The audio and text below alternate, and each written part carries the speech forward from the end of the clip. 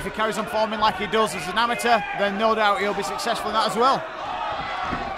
Big right hand, but Pilch.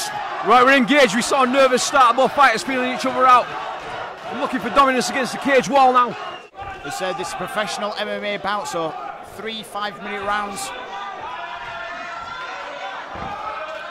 Pilch turning him onto the fence. Chip, chipping hooks, knee strikes. That was a big knee to the groin there. You heard it just echo through the plastic. We're back on. Pilch coming out swinging.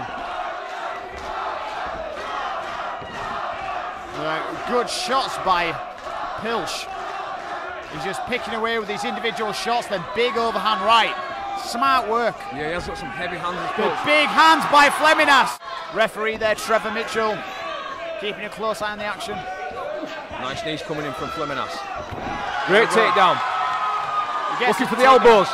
Getting the elbows, chipping away all those elbows. Yeah, he needs to be careful, does Pilch. He's trying to turn into him, but he's actually set up the choke. I think it's an arm-in guillotine now.